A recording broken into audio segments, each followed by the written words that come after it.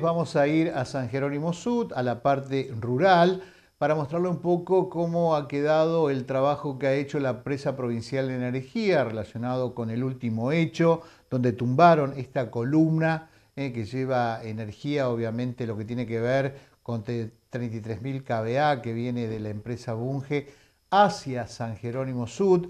Ahora se colocaron columnas de palo, columnas de palo, como usted puede ver, por lo menos podemos, podemos zafar medianamente. Allí están puestas cuatro columnas de madera que se han instalado para poder restablecer el servicio.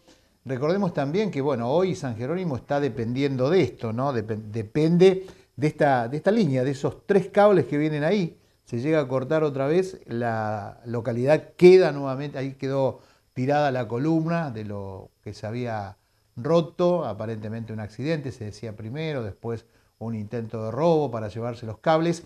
Y acá volvemos a hacer hincapié en algo que sucedió a principio de este 2024 y que tiene que ver con otro robo que se hizo a comienzo de este año a la empresa provincial de energía que abastece a San Jerónimo Sur.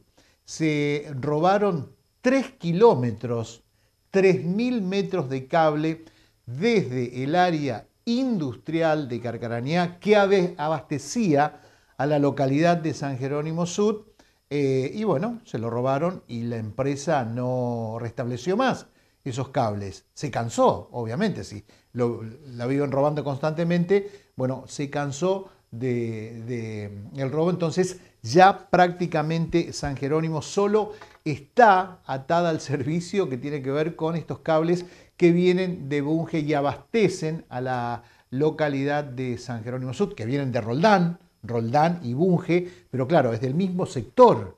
O sea que si llegan a caer estas tres columnas, cuatro columnas, o pasa algo acá en esta, en esta línea, en la que usted está viendo ahora, San Jerónimo se vuelve a quedar sin energía.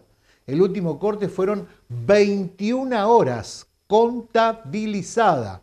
21 a 30 hasta cerca de las 6 y media de la tarde del otro día. ¿Eh? realmente fueron muchísimas horas, pero bueno, esto tiene que ver con eh, este mercado, ¿no? el robo de cables que se ha impuesto en los últimos años, donde hoy, por ejemplo, estos cables que ustedes están viendo, cada 90 centímetros equivale a un kilo, el kilo en el mercado negro se está pagando 17 mil pesos, fíjate vos, se robaron 3 mil metros cada 90 centímetros equivale a un kilo, saquen ustedes la cuenta el robo millonario que se ha hecho. Pero bueno, queremos graficarlo con ustedes para que vea realmente también todo el daño que se le ocasiona no simplemente a la empresa provincial de energía, sino a la comunidad porque fueron 21 horas, 21 horas eh, sin poder producir, este, estar obviamente ahí sin la energía, todo el trastorno, gente que de pronto no tiene generador y bueno, tuvo que tirar este, lo que tenía en heladera, en refrigerador, no,